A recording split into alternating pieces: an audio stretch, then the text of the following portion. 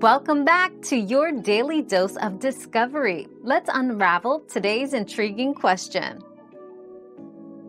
Blue text when messaging on iPhone means the message was sent using iMessage, a service exclusive to Apple devices.